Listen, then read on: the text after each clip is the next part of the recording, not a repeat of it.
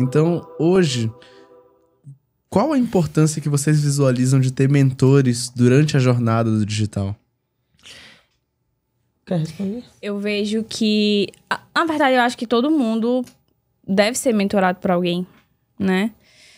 Porque não para você ter aquela pessoa como um espelho, né? Eu acho que deve ter assim um, um meio termo entre o mentor e a inspiração, sabe?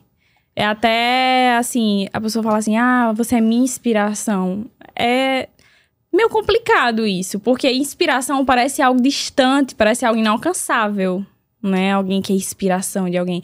Só que quando você tem um mentor, o mentor é alguém que te direciona para chegar onde ele chegou. Ele te mostra o caminho que ele fez para que você também tenha a possibilidade de chegar onde ele chegou. Então, eu acho que a função do mentor e no que a gente foca em fazer é muito nessa parte do direcionamento, sabe? Eu acho que não, não existe um mentor que não seja próximo do seu aluno. É claro que a gente não consegue ser próximo de 20 mil pessoas, mas no que a gente pode estar o mais próximo a gente tá. Tipo, a gente não delega coisas que nós achamos que nós precisamos fazer, como as lives de mentoria, né? Às vezes até coisas assim que são impossíveis da gente fazer, como responder todo mundo no privado, mas o, máximo que a gente conseguir, a gente faz. Já teve dia, eu, eu acho até engraçado, mas é uma coisa que é a cara dele que a gente tava no hotel em São Paulo. É, a gente ia acabar de chegar, a gente tava muito cansado. Era acho que uma hora, mais ou menos, da madrugada. Eu entrei para tomar banho e eu só ouvi ele falando assim: Pronto, clica aí, não sei o quê. Uhum. Agora clica não sei aonde. Eu falei, eu não acredito que a gente tá fazendo cal essa hora. Eu falei, ele tá fazendo cal com quem? Aí quando eu saí lá fora, ele tava ajudando umas alunas que estavam com dificuldade de conectar a página no Instagram, não sei o quê. E ele liga mesmo, assim, não importa se não esteja programado. Então, eu acho que dentro do. Entre o mentor e o aluno tem que ter essa relação. Como a gente não consegue dar conta de todo mundo, o nosso foco também é formar essa liderança, Perfeito. sabe?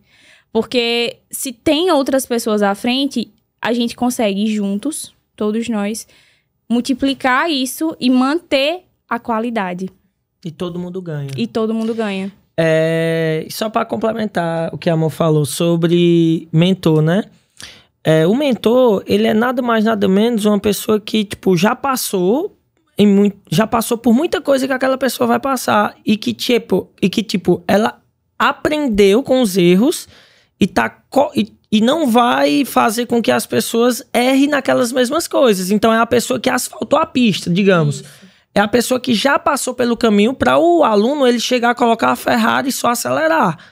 Então, o mentor ele encurta, ele faz, encurta o caminho ali. Ele vai mostrar, fazer coisas. Por exemplo, tudo que eu fiz lá atrás, eu vou chegar pro Marcelo. Marcelo, não vai por aqui, mano. Vai assim, faz assim, faz assado, porque eu já fiz, já bati a cabeça na parede e já não dá certo. Então você vai fazer por esse caminho. Esse é o caminho que nós seguimos. Se você quer fazer dessa forma, porque existe três formas de fazer, do seu jeito, de qualquer jeito e do jeito certo. Qual que é melhor para você? Do qualquer jeito? Do seu jeito que você não tem experiência? Ou do jeito de quem já fez de que, e de quem já faturou milhões? Qual que é mais simples? Qual que é mais. Aí o cara vai escolher. Tem uns que é teimoso, quer fazer, vai lá quebra a cara. Tem outros que dizem, ah, vou fazer de qualquer jeito. E aí também quebra a cara. E tem uns que vai segue e faz e tem resultado. E por falar nisso, uhum. assim, quais são as maiores dificuldades ou dificuldades mais comuns que Boa. os seus mentorados chegam para vocês e, e levam de dúvida, assim?